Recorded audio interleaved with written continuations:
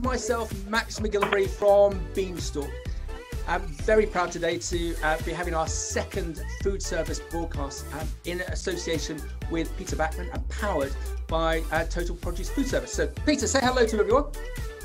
Hello, everybody. Um, you'll hear, be hearing quite a lot from me um, over the next hour or so. Um, so uh, I won't say anything more right now. Uh, I'll hand back to Max and he can ask the questions. I'm, I'm going to embarrass Peter because I always, always like doing, doing this bit because he's, he's such a, a, modest individual. P- Peter is an expert commentator on the structure and dynamics of the food service sector and its supply chain in the UK and internationally. If you've been involved in the food sector, I'm sure that you will have um, um, either seen his uh, weekly reports or um, he, he's speaking at various conferences again in the UK or um, uh, internationally. He's been involved as a, as a researcher, consultant within the sector for over 30 years, blending his knowledge with a deep understanding of the trends, key players, and challenges of organisations with an interest in that in food service. Um, and if you're watching this on the, on the record, have a look at the bottom because we'll um, tag Peter's uh, website so you can have a, a, a look at uh, some of the work that he's done and also catch up with the likes of his uh, weekly reports. Peter and I were, were very keen to um, set this food service broadcast up because oh, what, what a time to, to set it up. Um, and that we were very keen to create the conversation around food service and not just be part of it. We had a very successful first broadcast uh, with uh, Peter. They're amazing, weren't they? Um, Tony Reynolds of the of the Reynolds Group and uh, um, uh James Lipscomb of uh, the Ch- Chesterford Group. That's um, correct. So, so, so we've got a, um, a very, with Tony, a very big um, food service, fresh produce player. And James runs this amazing uh, fish and chip empire. I, I, don't think he would like me to use the word, but it's something like 22, 24 fish and chip shops. And it's, it's fascinating here, hearing from both of them as to how they developed their business as they went through this, oh, this incredible oddity that is um, 2020 for, for this broadcast, we wanted to major on what we've learned from the lockdown periods and how the sector can now positively bounce back from Christmas 2020 and beyond.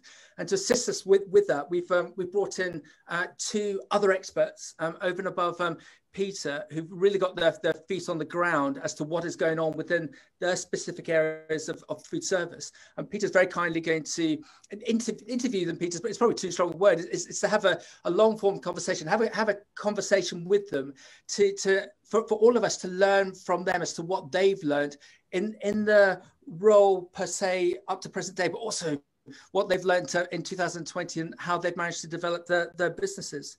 So, so Peter, give us a little bit more of a background on, on yourself over and above my, my glitzy start for you, please. Well, you've done it. Um, uh, that's it. Um, I'm. Uh, I know about food service and, and the whole thing from uh, Wormwood Scrubs to the Ritz and the supply chain, and with an international um, competence. Um, I'm doing some work in India at the moment and France.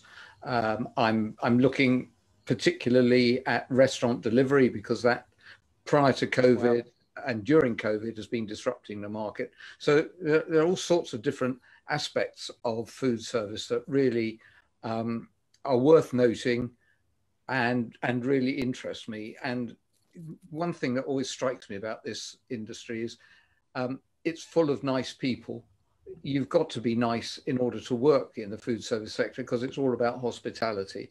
If you don't have that gene, then then um, you, you find it much more difficult because at heart it's all about making people feel um, pleasant. So uh, and and that's one reason why I'm I'm heavily involved in this sector. Peter, because yeah, as, as, we spoke uh, before, you, you could have gone off in any any different direction, couldn't you? Especially like on a, on a scientific basis. But your love is is the sector and the, and the people people within it. Yes, I, well, you know, um, I sort of fell into it, um, but I, I quickly realised that yes, it is. It's full of nice people. Um, uh, I trained as a scientist, which I can't say they're not nice people. tend to be a bit more buttoned up than than people yep food service sector. Um, and that was fine, but working in a laboratory with test tubes, um, I realized wasn't for me. Um, far better to uh, smell the food and eat it. Yeah, well, well said. My, my father was a, a, doctor of biochemistry, so I've, I've obviously missed the genes in the respect of the intelligence. But yes, I, I, I couldn't. Uh, I needed to do do some, something more, more practical. So, so Peter, before we um, get into it, because I've got a, oh, I've got a big question to ask of you. We we must just re- remember that we wouldn't be able to be running this uh, broadcast if it wasn't for our partners for today, uh, Total Produce. Total Produce PLC, if you're not aware of them, is, to, is today one of the world's largest and most accomplished fresh produce producers and providers. They're local at heart, global by nature, and they operate out of, would you believe, 30 countries uh, while serving many more.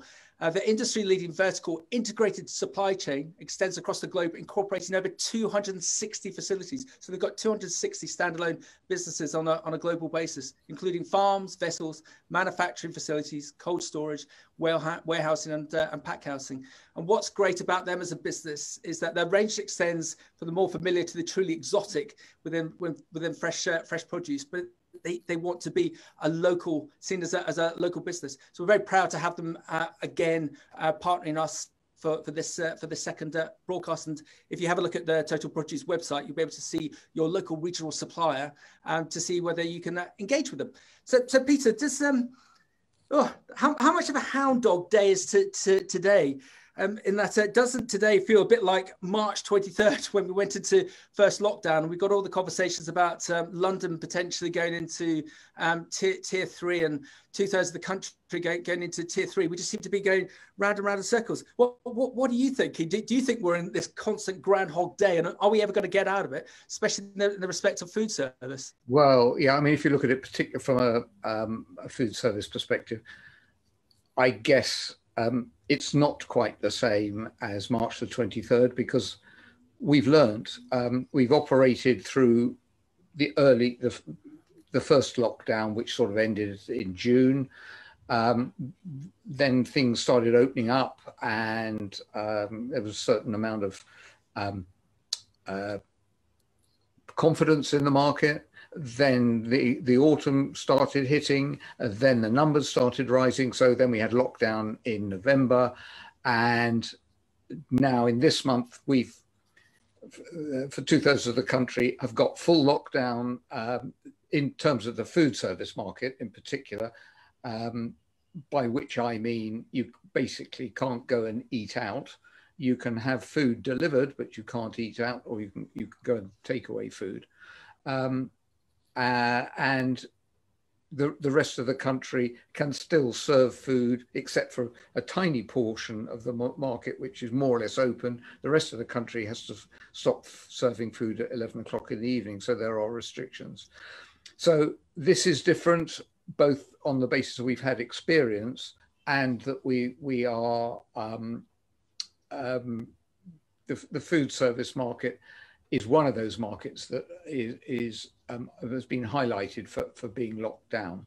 Um, if you, if you talk from this position about the future, um, then um, we're in for a very tricky time, in my view, still for the next few months. Um, how long this lockdown lasts, I don't know. Um, I've I've been hearing about you know going on into January and even beyond, which doesn't strike me as being being beyond the bounds of possibility. And at the same time, um, we're, we're, starting to get the vaccines coming along. So we've got a, a situation where uh, we're being um, assailed by by growing numbers um, of, of how the COVID is hitting us more hospitalizations, regrettably more deaths.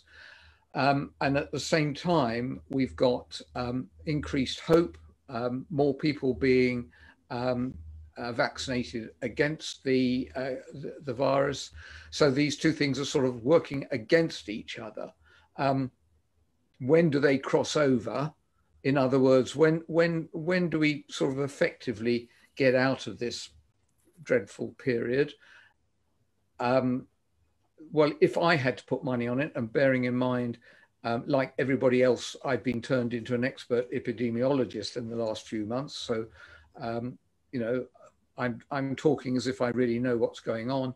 My, but my view is late spring we'll start to feel quite comfortable, and but things won't be getting back to normal growth until the autumn.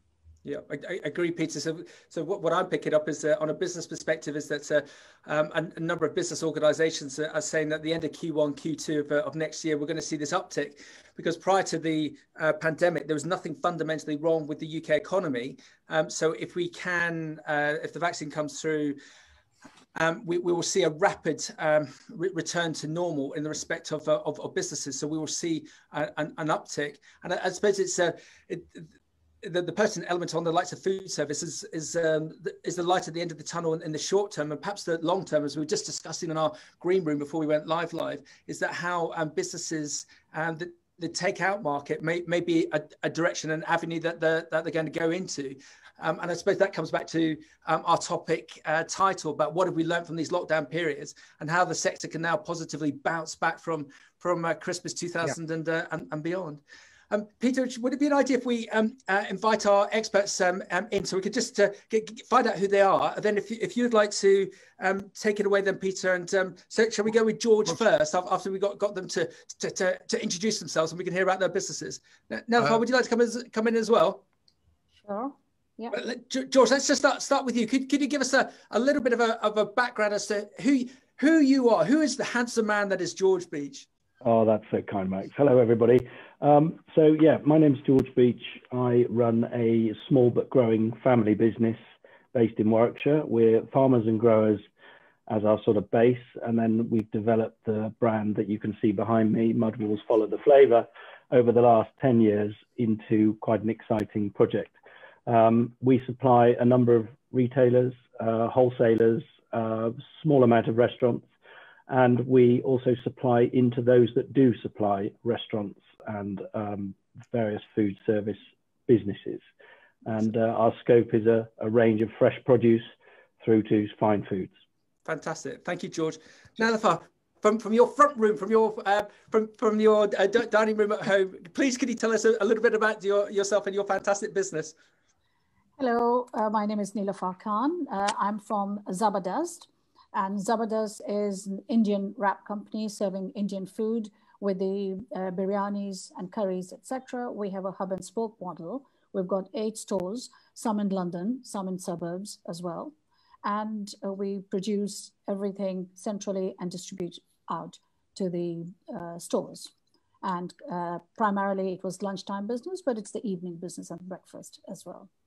Fantastic. And everyone, you must look at both of the, the, the, websites. And if you're looking at the record or listening on the podcast, um, have a look at the, the websites because they're two brilliant websites. And you'll find out so much more about their businesses over and above uh, the chat that Peter's going to have with them. So, so Peter, would you like to have a, a conversation with George so we can find out more about uh, about George from from your perspective, please, Peter? And another fire, if, if you and I, if we if we just duck out and we'll, we'll let the gentleman get on with it. Hello, Peter. Hi, hi, George. Um, so uh, you've you've explained a little bit about your business. Um, um, we've got about seven or eight minutes, I guess, to to just investigate just a little bit more. Um, can you very briefly tell me, you know, where it comes from, how it was set up, that sort of thing? Yeah, very much so. Um, so I started my career um, working for Tesco's, uh, learning all about fresh produce, and I was very interested in the quality of products. So spent quite a lot of time looking at quality and, and had a great opportunity, thanks to my job at Tesco, to visit many, many farms of fresh produce around the country and further afield. Um, carried on my career through coming out of Tesco, working in supply chain from all angles, mainly bringing fresh fruit into the UK um, and spreading fruit from around the UK farmers to various companies. Um, my business sort of grew and grew in the form of um, uh, fresh, but then I, I, realized that actually beyond fresh fruit, fruit and vegetables, there's some absolutely fantastic producers of fine foods. So here we are today supplying a range of fine foods as well as fresh produce to quite a wide range of markets. Um, the base of the business, as I said earlier, is, is, a farm in Warwickshire. So we, we, we know all about farming and growing. So we have good empathy with those, uh, that end of the market, as well as understanding how to get the product from the field um, to the plate. Great. Um, so um, roughly what sort of size is the business? Give me some, some measure. Okay, well, the farm the farm itself is a, is a modest 250 acre fruit and vegetable farm, um, which uh, has been in the in my father's control for for many many years. Um, we've sort of grown the business from from a very small uh, enterprise that I decided to set up on my own uh, 10 years ago. Uh, we're now uh, sort of heading towards double figure million turnover and uh, have great plans to expand that further. Mm, great. Um, so I, I, just wonder if we can turn the clock back to the beginning part of the year, um, and if, if, you can sort of revisit that, and what what did the world feel like for you at that particular time? Okay, so we're talking about March, April time. Uh, so if we go right to the beginning, uh, you know, went into January uh, ready with our sleeves rolled up for a, for a, for a sort of reasonably good step up in growth.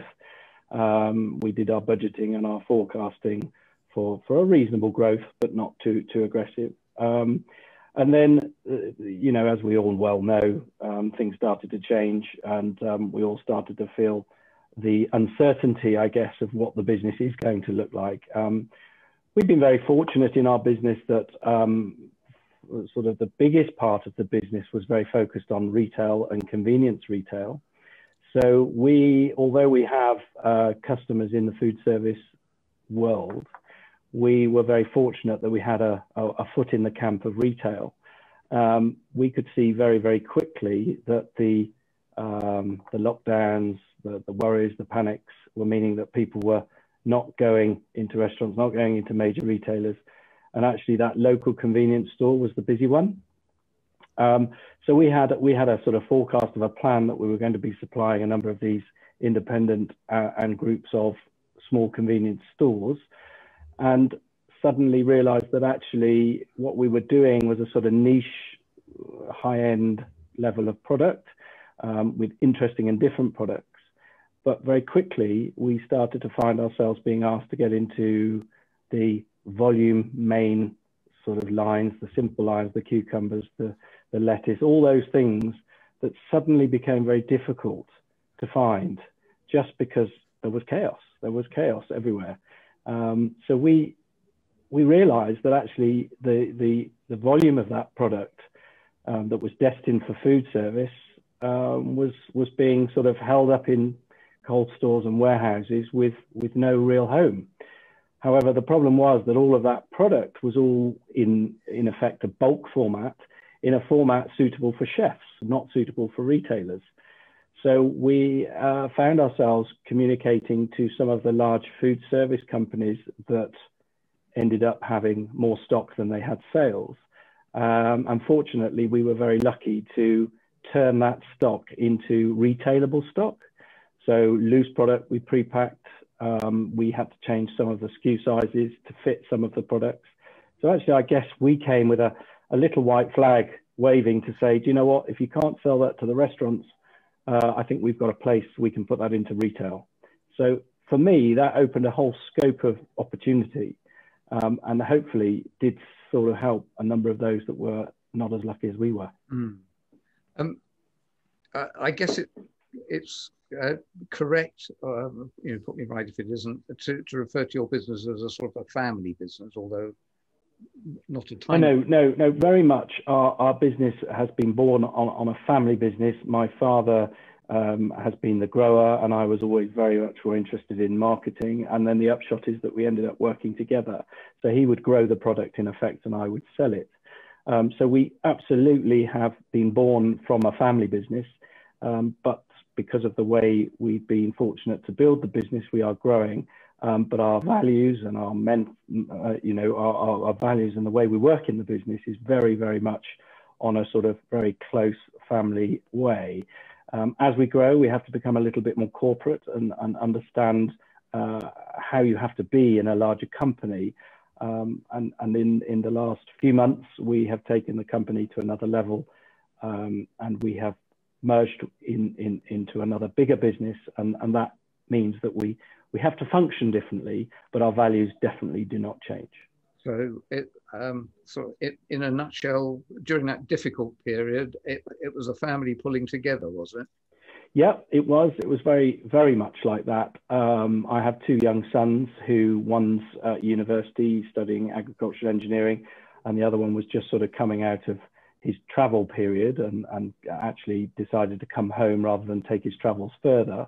And uh, as a family, we, we, we pulled together and we did, we did actually have a period of time when we were realizing that our business is growing and we were being quite successful. And I sat back and thought, you know what? we need to share some of this success. And there's a huge amount of people out there, the vulnerables, the not so well off, those losing their jobs, those being furloughed, those that couldn't get out into town and do shopping.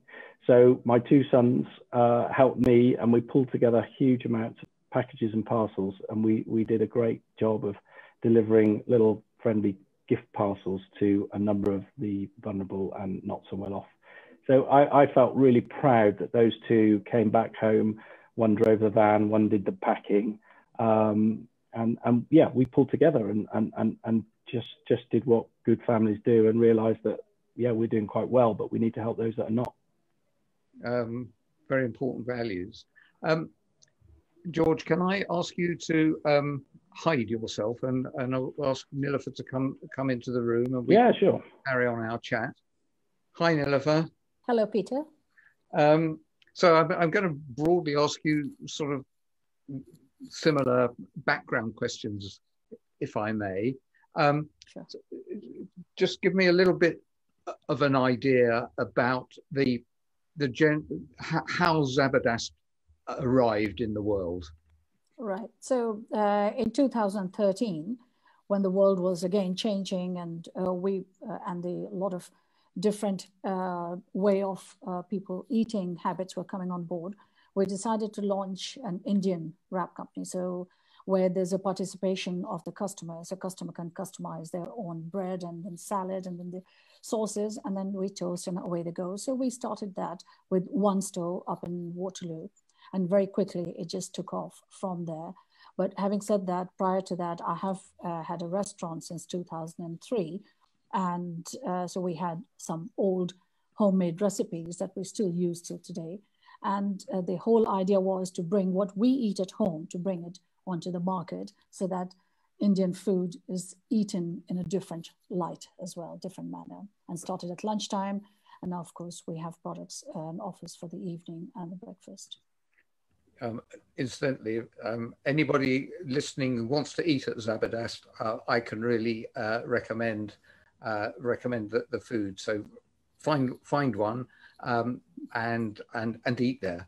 But um, um, Neelofar, um, how how big is Zabardast, or what? Um, if we go, you know, however you want to measure it, uh, how mm-hmm. many stores have you got? That sort of thing. So so we've got one central kitchen CPU, and then we've got eight stores. And in fact, the last one opened uh, during this COVID period as well in August. And so uh, currently we have eight and, uh, and a CPU, and it's a sub 5 million turnover. And, and, and they're all located in London? So they are, uh, yes, so Greater London as well. So the furthest out is Bluewater Shopping Centre, which is in Kent. But otherwise, it's London and then near Caterham and Croydon, Canary Wharf, Clerkenwell, Bankside, Waterloo. Mm. And uh, so, if, again, um, like I, I, said to George, if, if we if we can just sort of transport ourselves back to January, February of this year, what was the world looking like for you? Well, Peter, uh, the whole of 2019, once we had tried and tested for a few years uh, our offer, we had great, great plans to go national and international. And I say we had, I mean, we still have. But again, as a small business, we had to pivot towards uh, survival and survival not just of ourselves and a family, but survival of the business, the whole Zabardast family, i.e., the team and uh, suppliers, etc., etc. So what uh, we had those plans, and we were in conversations with some absolutely great partners, and we still are. But then uh, came March, March 23rd, mm. and very quickly we were uh, we were wondering what to do. But very quickly we had to change uh, the and navigate through the troubled waters. And uh, I'm very happy to say that we're still alive and well and surviving, and uh, not just on the business front, but health wise on a family, personal front as well. Touch wood. Yeah, I mean, you've mentioned family a couple of times, and, and I had a word That's with um, um, George about it as well. So uh, yours is very much a family business, isn't it?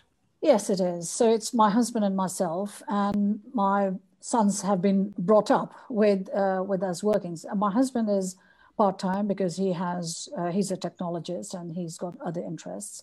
So mainly myself, uh, but a very much uh, family, yes. And our eldest son comes in and out but they all have their own careers, but they're all there to support mom. Mm.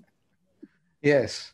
So um, uh, if, if, if we look back over the last few months, um, ha has the, the, dreadful circumstances we've been in, has it influenced the way that you look at the world, um, the world of business or, or the wider world?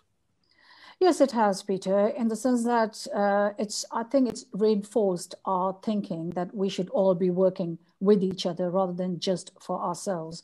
And uh, having sat back all through those April, May, and June months when we were all struggling, and fortunately, we were very fortunate to have landed some NHS contracts where uh, that gave us some space to rethink and uh, recalibrate our uh, bandwidth and our minds. And uh, so we, we said, yes, we have to expand and we have to help each other, but we have to work with each other rather than just work for ourselves. And, uh, and our model changed slightly rather than just having London centric stores. We've started opening in suburbs as, well. And within the lockdown, we were able to open one in August.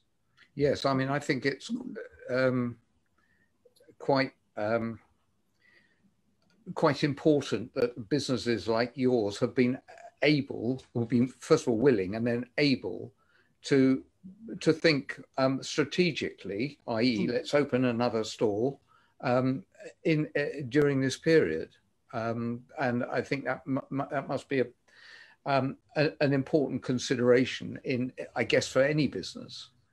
Yes, it is. It is very, uh, very important consideration. But then, uh, because bearing in mind, we still have all those um, rental debts, etc., just rent mainly, uh, that government has not done anything about to help uh, so far. So those will come uh, in 2021, 22, and beyond.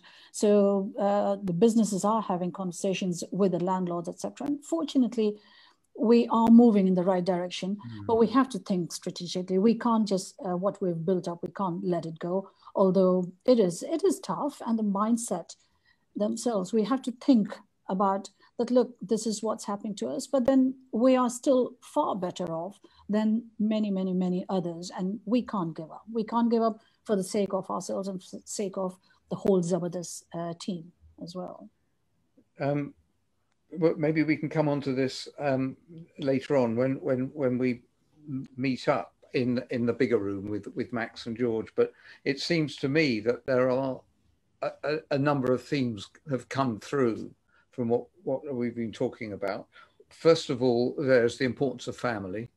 Mm. Um, secondly, caring for employees and, and caring for other people, which I think is a, a core value for people in the food service industry, uh, other mm. industries as well, but particularly for, for the food service industry. And it's easy, I think, to forget that in the hurly burly of, of just mm. driving driving forward and, and trying to get business and so on. Mm. People are important, aren't they? people are very important. Without people, we're nothing. No, we, we just can't do this ourselves. And people are important. And then don't forget that those people are not just the names on their payroll, etc. They have got families themselves, and they have got people. They might be uh, servicing and helping not just here but abroad, etc. as well, and and in in UK.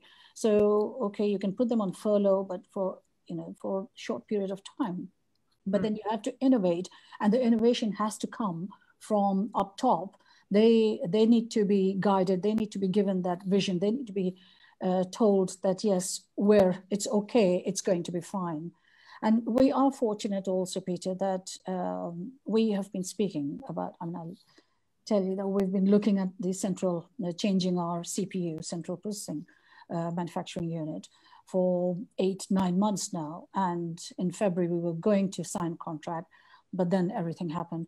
But we're very fortunate that we did sign and the fit out has started. We signed uh, about four weeks ago. Fit out started. And in January, hopefully, we shall be moving to our new unit and opening another one in February, a small suburban unit. And what does the CPU, operation as a CPU, actually mean for your business? So what that means is it opens up huge uh, number of opportunities, i.e. for the expansion uh, beyond uh, 2021. It also will be creating more jobs as well.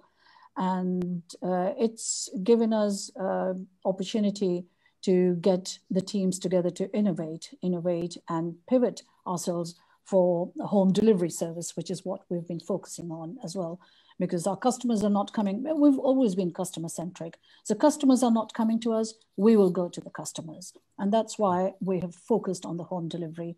And that's why the suburban Zabardasts are popping up because our customers are living in suburbs. So we've come to them, not in Canary Wharf or London. So, so central unit will now give us opportunity to go up to 60 or so Zabardast. That's fantastic um, hope for the future then. Yes. yeah, that's right. So maybe we'll invite um, George uh, and uh, Max back into the room and um, we can open up um, a bit more of a discussion. Um, first of all, I, I'm, I'm hoping this will be a bit of a, um, it's not just going to be a question of me asking questions and other people answering them, but maybe we can have a bit of a cross conversation going on as well um, if there are points of interest. Um, but let me just start by, by um, posing the question, um, particularly to Neelofar and George, what, what has the last, or what have the last nine months or so taught you? What lessons have you learned or a lesson that you've learned? Um, I, will have a go at answering that. I think I think one of the lessons is that um, we can do a lot more than we ever thought we could do. Uh, we can be a lot more efficient than ever we thought we could be. Um, the pressure of the whole scenario with whatever we're doing, um, it has been quite immense.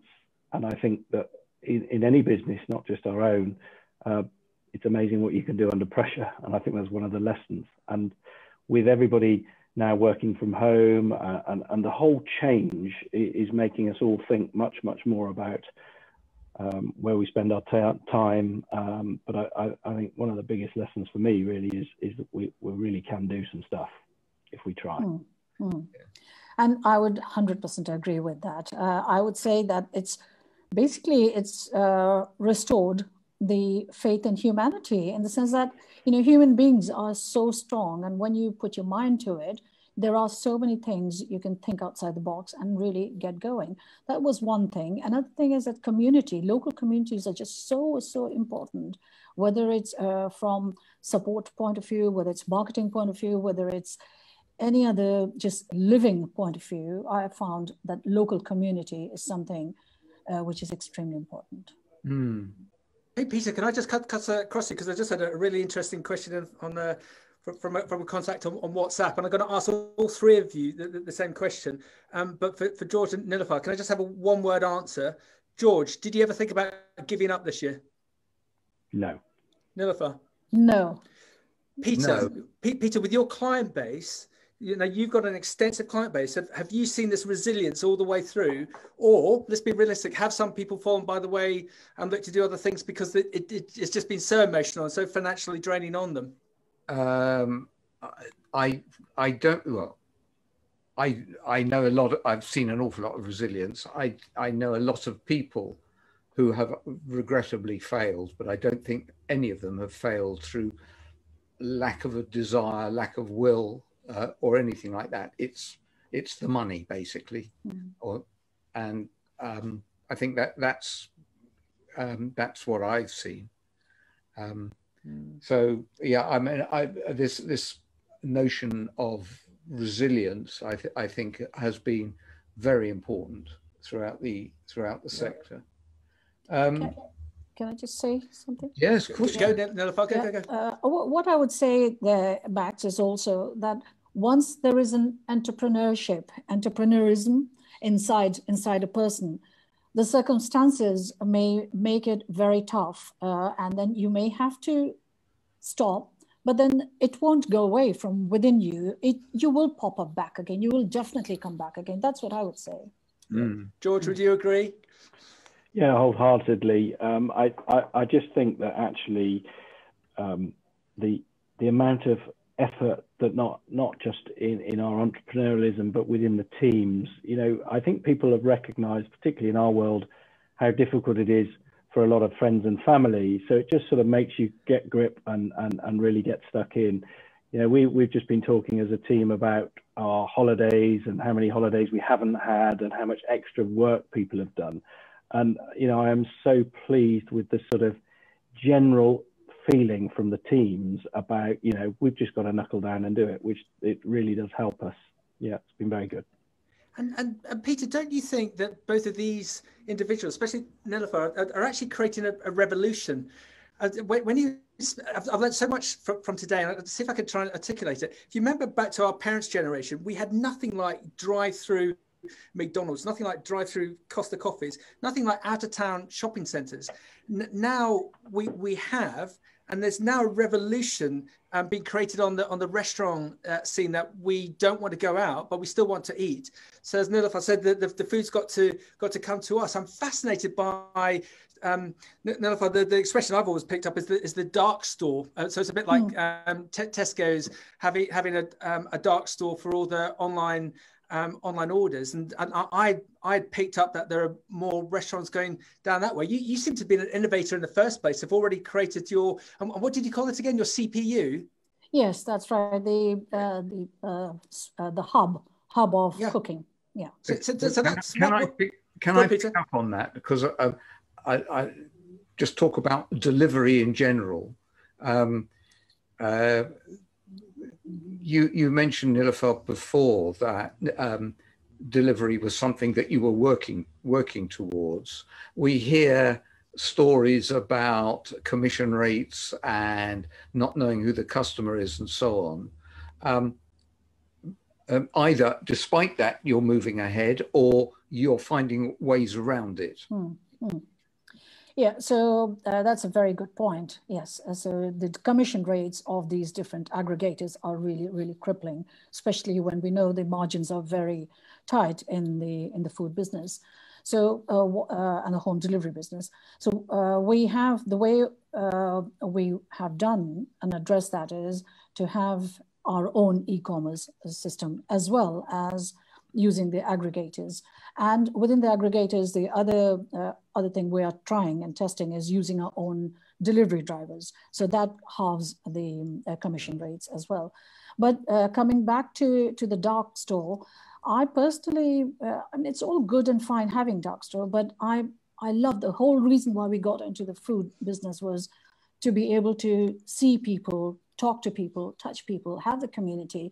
So eventually we would have combination of both. I don't think we should at all have completely dark store and boarded up high streets.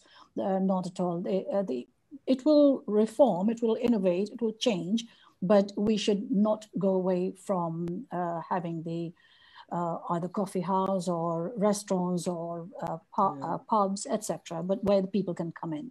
But don't think, you think? Don't you think? Sorry. It's all right, Peter. No, go on.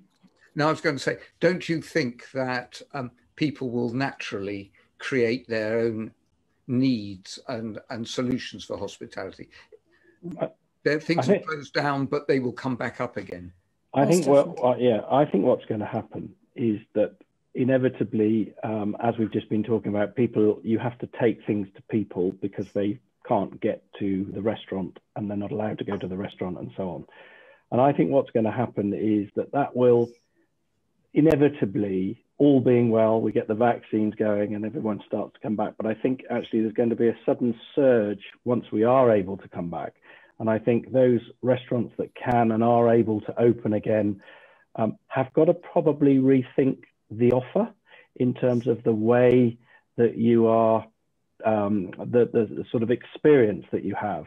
Um, I think this this sort of combination of retail and restaurant lack of activity in the high street, all these different things that are going on. I think what we're going to see over the next year or two is a new style of high street, a new way of shopping. Um, there's no doubt online shopping uh, and, and, something that we've got heavily involved in. We've now set up our own partnership to supply fresh produce, fresh meat, and fresh fish to the home. And I, and, and I no doubt that is going to grow. That's going to continue to grow. And it, it will only grow with those that do a good job. Um, what we have seen is a lot of food service companies inevitably change their business from being a typical uh, supplier into a restaurant, and, and they've managed to bring together some fantastic food box offices, uh, off, offers, um, of which some have been great, some have been successful, and unfortunately, some of them have fallen apart because uh, the, the whole structure of that business is massively different, and there's a massive cost difference. Um, so I think online shopping for great food uh, ha has a long, long life ahead of it. I think that possibly a combination of those doing online food shopping should consolidate and probably will inevitably link with good restaurants. And I see some great synergies between what we're doing, delivering great food to the home. I think there will be synergies with us and some great restaurants. I think we can combine our our, our working relationships and probably offer a, a service to help um, uh, the same way that you're having to do it yourself. I think there's a future where where businesses like ours can can probably help do that. And then I see the actual retail environment being different. You know, we we've seen the Costas and the Pret a Manger's and all those sort of things. They've been fabulous, but I I see it as a as a as a different sort of model going forward. I can see the whole sort of part shopping, part eating um, environment that, that sort of encourages you to eat with us today, but also take something home the same for tomorrow. And I see that growing. Can, I just make a point about the, the delivery service? Because again, I'm learning so much from this. Another you, you mentioned about the well, I've got to say it on, on your behalf. The, the scandalous prices that the the the, uh, the, the delivery firms um, charge. If you look at the likes of Rightmove um, in the estate agency sector, um, I think it was in 2018, they turned over 160 million in gross sales and they made 120 million gross profit. Um, because they managed to capture the market and the estate agency sector was uh, was too slow to to react. Um, it it's almost feels like if, if it's not controlled, if the likes of yourself are, are, are, not being disruptive and doing what you're doing and going to the consumer direct, that you're going to have this the the, sector is going to have the same issue that you're going to have these middlemen who um, are going to um, take you by, by hostage because it's the only way that you can get to get to the con- consumer. So for you to be disruptive and, and set up your own uh, fleet fleet of vehicles and go direct and, and look to use that community support especially because it's completely completely genuine. But yeah it, it would seem a bit of a worry that those delivery f- firms uh, potentially will just look to ride and ride this and, and, and get a, a, a, a stranglehold on, on that delivery sector. Hmm. Um, mm. What, what, what would you think? Well, I would say uh, I'll give you an example or, and uh, give you a little uh, scenario really that uh, for, say, for Zabardast, for ourselves, uh, we were doing 10% of our sales was through the delivery in Uber Eats and Just Eat at the beginning of 2000 um, 20. And then about March time, it was 90%. And uh, now it's uh, the equation has changed because we have learned some more stuff as well. Uh, but what I'm saying is that imagine if we were only re uh, relying on these aggregators, Delivery, Uber Eats, and Just Eat, and uh, imagine if they then turn off, they, they're charging something like 32.5% or 35%. Yeah, wow. uh, yeah, it's between 30 and 35%. Uh, and so, uh, but then they have, they have huge reach and without them, the businesses would not have survived as well. So it's got plus and minus points, but uh, there, has, there has to be a middle way. So uh, then what happens is you open up another store and then there are no couriers for either of these uh, aggregators because you're relying on their drivers. They can switch you off. So you are off uh, the screen completely.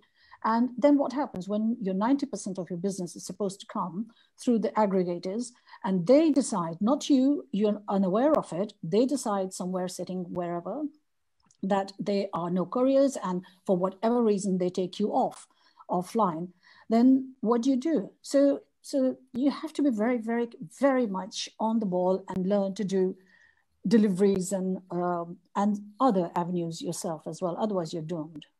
Wow, uh, Peter, what's your view of this subject, please? Oh well, um, uh, I'm I'm very much uh, of a similar opinion to Neelofar. The the um, the, the amount of money charged is uh, unsustainable in my view wow.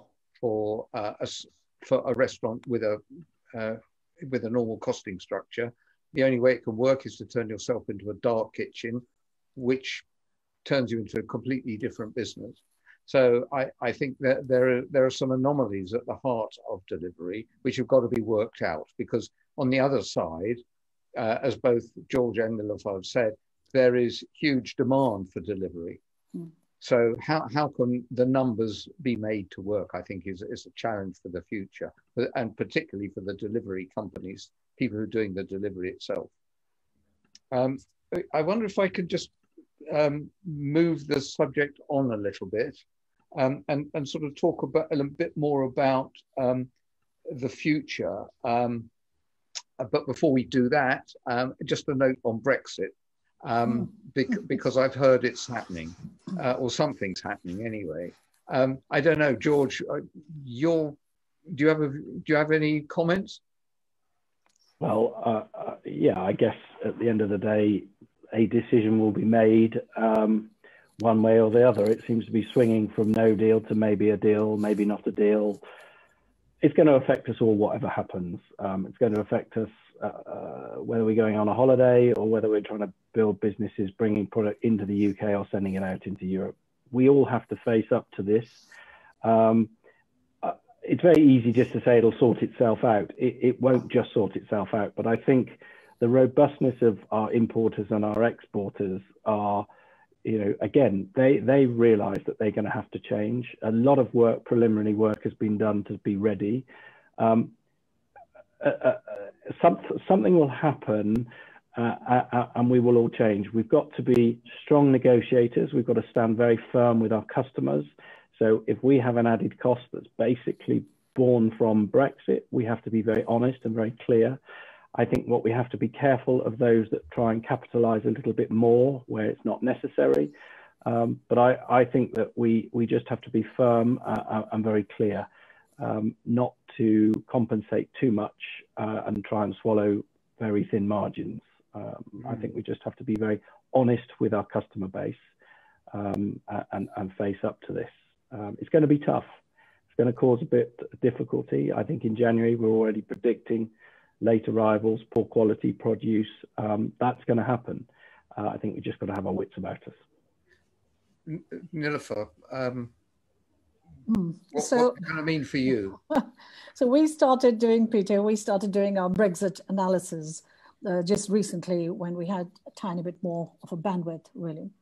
And uh, at the moment, uh, our main uh, supplier of the meat is very uh, much UK based. But uh, we were having conversation with him. This is the halal meat we get, and he said, so far we, he does not see a problem. But then when we don't know. He doesn't know himself. When it starts drying up in UK, the import that's coming from abroad, then what the current supplier would do, i.e. his wholesaler, would do to him, uh, he says he doesn't know. And that, that's one of the product. And then there are several others. So from that point of view, the supply chain is something that is a worry. And personally, I don't think we can do at the moment a lot about it. I mean, our, our fresh produce, it'll be great but uh, to be speaking to George and others about that. Um, but Brexit itself um, is something it's still unknown, and we don't export anything. So from there, uh, uh, we don't get affected. We import. I, our uh, supplies, a lot of it is imported. So we'll have to wait and see what happens on that one. But holiday-wise, there are beautiful places in UK. That's that's the least of our worry at the moment. yeah. George's Farm, George's Farm, especially. George's is, Farm. Is, it, is it true to say that for, for both Neelofar and George's perspective, there's a lot of uncertainty still. Or Yeah. f- from George's Oh, yeah. perspective, is there is that overstating the case? No, it's not. There's a lot of uncertainty. There's a lot of nervous nervousness. Um, we have, with some of our customers, done some contingency planning.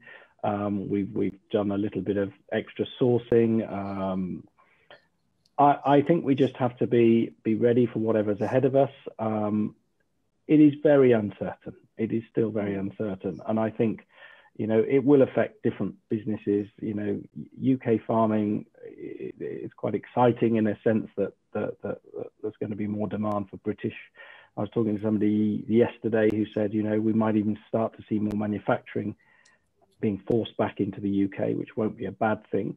Um, I'm not saying that's going to happen in January first week, but over time, I think we're going to have to start reflecting and look inside this brilliant island of ours and start using it for what we used to do. And I think that might force some more um, manufacturing businesses. Uh, maybe that's a good thing. Can, can I just come in? I think also, Peter, it, at the end of the day, it also has to be a mindset of the consumers as well. Like in our case, uh, our and uh, the money comes from the customers, from the consumers. So consumers need also, if there's a price change, etc., if the prices are going up. Currently, if we go to any of the uh, local suppliers, the prices are high uh, of, of the produce as compared to, say, the wholesalers who are supplying us. And, uh, the, and that will, in effect, the businesses will have to raise their prices and then uh, will the customer the, at the end of the uh, road will they be happy paying it so, so, it's it's a lot of uncertainty a lot of things we're still trying to see how it all pans out mm. Well we've we've got a couple of minutes left and um, I, I, really just got um, one, one sort of question I'd, I'd like to pose to both of our guests um, and that is thinking about the future what does success look like for you? Um, George, go on. You. What, what, does success look like? I think success, in in the in the minimum sense, is sustaining what we've got, holding on to what we've got. Um, I think for me to look back in 12 months and say that we've successfully stayed running. Um, obviously, we're a bit more optimistic than that. Um, but I, I, think success is, is retaining our teams, retaining um, all the people that have supported us over this period. Um, so yeah, I think I think success is is continuing to help feed the nation uh, as cost effectively as possible, but giving the consumer in the end great value. Um, and that just may look a little bit different to how it does today, but but success is carrying on doing what we're doing and, and improving it. Uh, and Neelofar, um, by, by, all means, look forward the next year, but also the next five years, perhaps. What mm. does success look like? So, Peter, for me, success comes in many different colors. Uh, one is we would love uh, to be a mainstream brand um, uh, in five years and beyond, and it's a legacy, a legacy brand. We would love uh, for that to happen. We would love uh, Zabardast to grow as a second generation ethnic brand to become a mainstream big brand. So that, that in itself is a big success for us. And also to grow so that our own teams and the teams with, uh, who have been with us, they can also reap the fruits uh, of all the uh, dedications and sincerity and loyalty that they have shown to the brand. So that, that in itself is a success. Uh, also to have a find uh, name alongside big names in the supermarkets and the um, travel hubs and airport. And this is all going, you know, the big, big, big vision to go UK and beyond. And that's, that's success. But in the same time, very much keeping our existing team, taking them along with us to become a mainstream brand. And that's what, and finding a partner who can really propel us up. And that's what success looks like. That, that sounds like success. George, do, do you just want to put a, a five year perspective on success? Yeah, I think I, I think our success will be um, building our online business.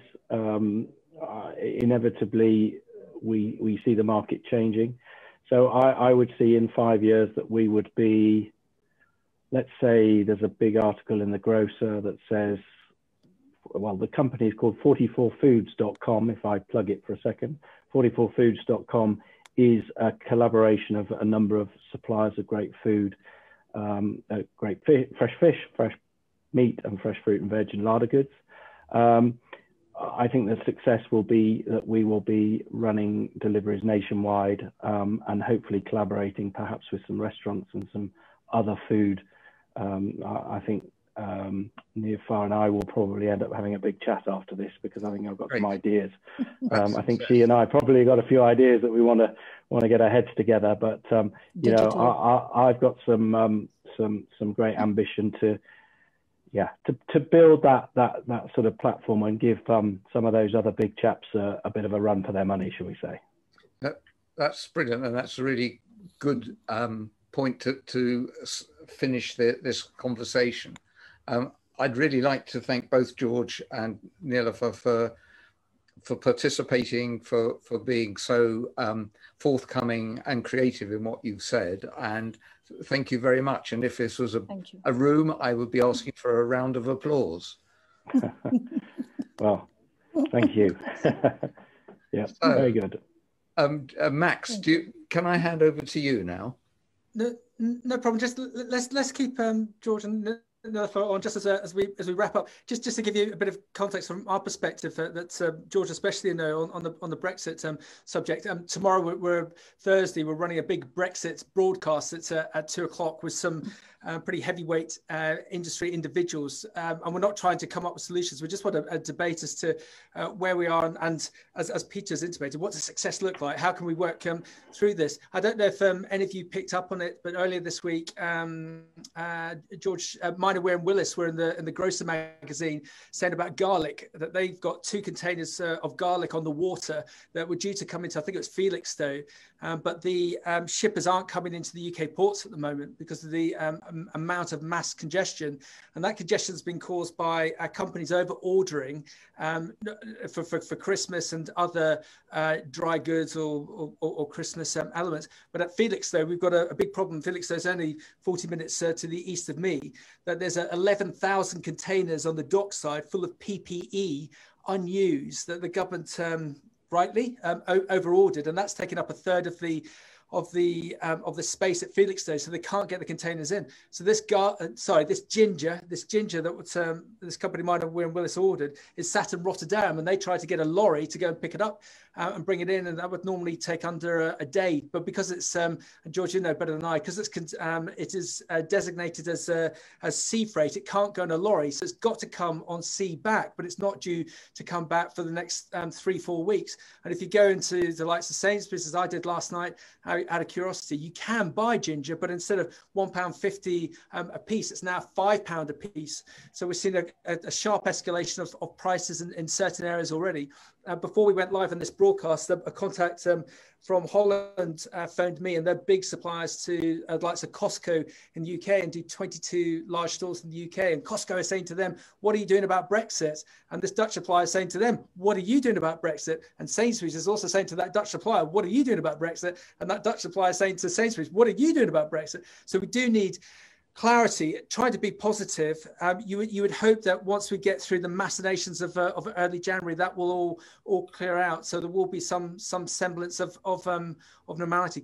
That, that all aside, getting back to the the, the, the subject today, Peter, I've, I've, I've, I'm just so fascinated by these conversations. I've learned so much um, from from um, from both both of our experts, and I can see how this this revolution is is occurring from the, the ground up with the with the likes of Neelofar and, and, and, George because of the disruption that they're, they're creating. And Peter, unless you say otherwise, I'm presumably I'm presuming you're seeing this within other food service sectors that people are resilient and they are changing and they are adapting. So there will be a brighter future for the food service sector come um, 2021 and beyond. Yeah, absolutely. And what's been genuinely inspiring from from what we've learnt this afternoon is coping with truly awful conditions that were totally unforeseen. Um, you know, both companies immediately pivoted in another direction.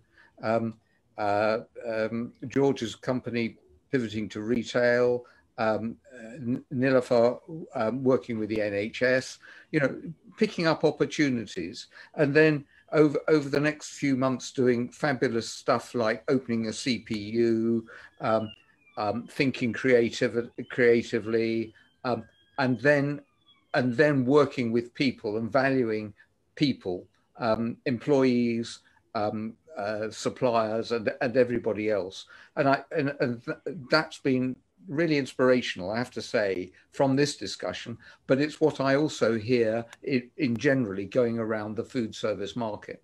So I think there's tremendous um, hope for uh, the future, um, really solid grounds. And I, I'm hoping that using the word the industry um, is able to um, really learn the lessons that it's learned uh, and and use that as a platform for really good things in the future. I'm hopeful. And, and uh, uh, we've got a great contact in the in the states. Uh, Todd, who's been uh, watching in, he's just stated in the states right now, some food service operations are thinking that but, but that by May of 2021, that the restaurant industry will start to explode. Some claim by 200% pre-COVID numbers. So so again, th those companies that are resilient have have created a difference and uh, created a new foundation. May look to potentially explode um, positively come uh, spring, spring of, uh, of next year. Um, every, everyone, we're just starting to, to run out of time, but we've got to end in. It's been fascinating conversation, but we're definitely going to end on, on, a, on a positive note. Um, if we, we, if we were all going to come to yours for, for mm. lunch, just quickly run us through the menu that you would select for us. If we said we're gonna we're gonna have whatever you're going to give us, we'll, right. we'll pay. We'll pay, of course. So what, what no, no, Peter will pay.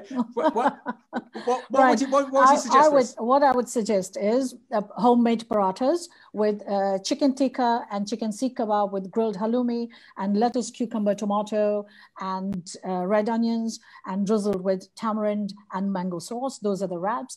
And then the biryani boxes will have your chicken biryani or the vegan biryani. And then there's a sauce that comes with it as well. And for dessert, I would recommend uh, gulab jamuns. So those, those are there. and then the vegan products are fantastic. So I would recommend that. Uh, fantastic. Uh, George, Peter, I'll get the car. I'll pick you both up in 10 minutes and we'll, we'll go. George, what would you Lunch recommend? What, what, George, what would you recommend from us to purchase from either Mudwalls or 42, 44 Foods, please? Uh, well, I, I, certainly from 44 Foods, um, I would definitely say let's let's get a, one of those brilliant Christmas boxes and uh, all those lovely Christmassy things and start to sort of enjoy ourselves. From Mudwalls, I'd 100% say purple sprouting broccoli every time. It is sensational. Um, as long as the asparagus season stays away till March or April, enjoy purple sprouting because it's just as good, actually a bit better.